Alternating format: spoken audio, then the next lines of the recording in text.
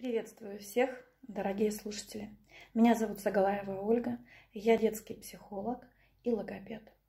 Сегодня в непростых условиях мы оказались все. И родители, и дедушки, и бабушки, и сами дети, и учителя, которые несут знания нашим детям через дистанционное обучение. Я вам раскрою четыре фактора, способствующие успешному обучению. Первый и самый главный фактор – это интерес. Когда ребенку интересно получать знания, когда он сложные вещи получает простым языком. И здесь все зависит от учителя. Потому что самое главное, чтобы ребенок понимал важность, значимость получаемых знаний, а не оценка. Второй важный фактор – это способы восприятия. Да, это учеба. Да, в сложных условиях в условиях, к которым никто не был готов. Но все же для ребенка важна игра, где он творец, где он творит свое будущее, в котором он знает. Третий фактор, немаловажный, это восприятие информации, которую берут наши дети.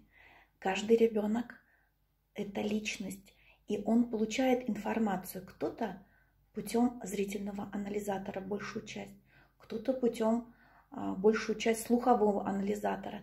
Это необходимо учитывать. И здесь помощником у ребенка будет его родителей. Кто, как не родитель, знает лучше, как ребенку легче получать знания. И четвертый фактор.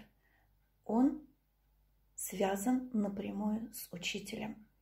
И здесь важную роль играет личный пример – учителя, то, как он любит свой предмет, то, как он с радостью общается с учениками, то, как он всю душу свою вкладывает для того, чтобы дети поняли.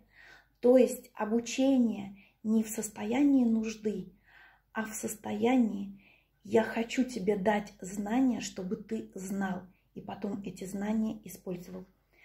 И мотивация здесь должна быть однозначно устойчивая – нам необходимо сказать «нет» всякому стрессовому состоянию ребенка. Нет всяким большим подаркам. Будешь хорошо учиться, получишь что-то. И еще самое важное, не будешь учиться, станешь дворником. Это не мотивация. Мотивация состоит в том, что будешь учиться, будешь творцом собственной жизни.